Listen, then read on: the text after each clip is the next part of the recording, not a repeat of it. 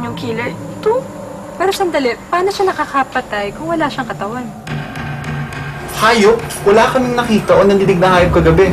May nakita ko kasi akong balahibo dito eh. Kaya naisip ng kasamahan namin na baka may nakapasok na aso kaya pusa. May nakita akong vision.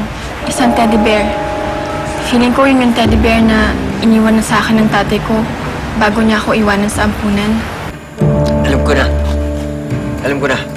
Kaya walang nakakakita dun sa killer kasi sumapi siya. Sumapi dun sa isang bagay na hindi ka hinahinalang pumapatay. Anong bagay? Yung teddy bear. Teddy bear ang killer? Oo. Yung teddy bear? Ibig sabihin yan yung killer? Eh, teka.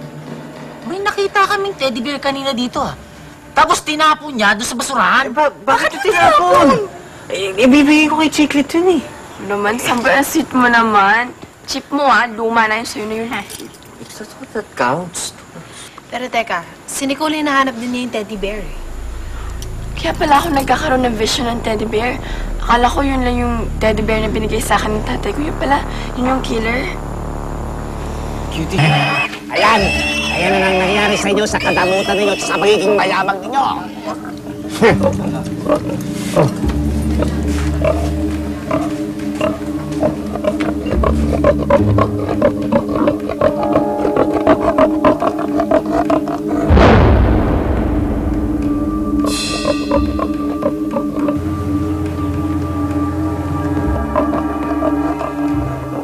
Samboy. Ano yun? Jason, sundan mo si Samboy. Your wish, magkuma. Okay, go. ano?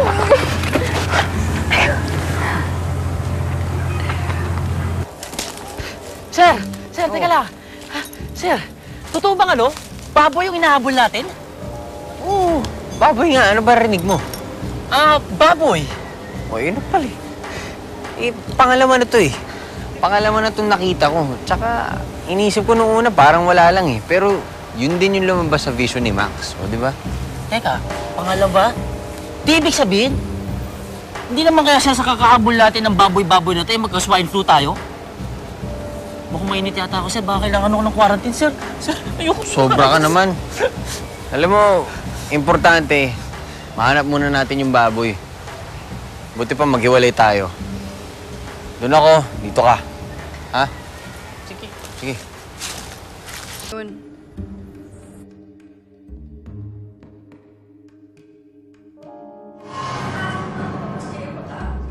meron tayong na-istorbong engkanto dito sa bahay na to.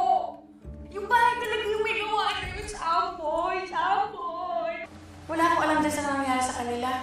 Basta ang kinakover ko sa kanila, yung bahay, malinis. Hinahabol daw siya ng washing machine.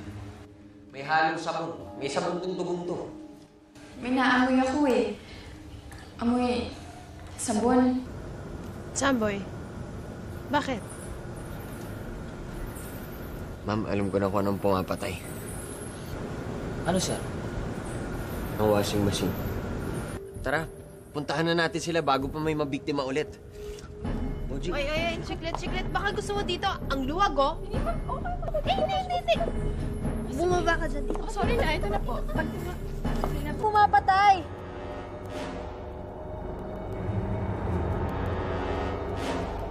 Inala ko sa banang lahat ang mabibiktima ng ganyan. Pinagtataka ko, wala akong makita ng isang tao